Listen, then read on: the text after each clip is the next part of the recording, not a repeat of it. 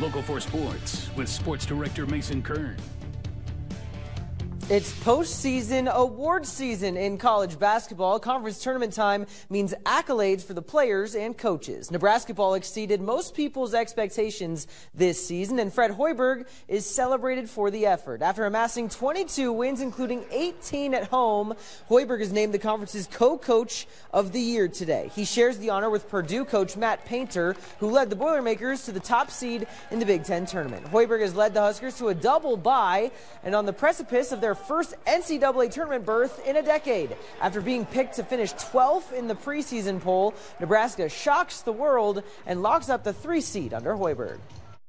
To me, it's a, it's a reflection on the program, and you know we've got a lot of people that are responsible for where we are right now. I'm just I'm proud of, of our program for where we are. We're in a good place. I, I feel really good about things at this time. We just can't get complacent. We got to stay hungry.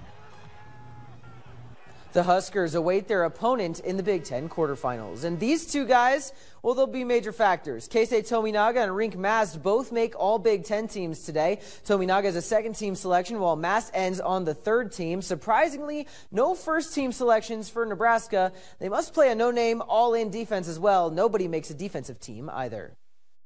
You know, I'm so happy about it too, but, you know, we our, our job is not done yet. I just gotta do what I do to help the team to win the you know win the game. Me and Keisei getting to uh, like all Big Ten teams. That's just.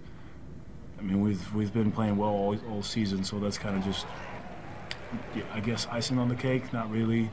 Um, I'm just focused on on the team right now.